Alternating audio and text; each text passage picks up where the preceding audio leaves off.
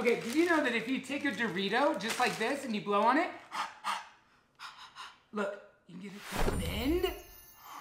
What? And it doesn't What? break. Still got the crunch.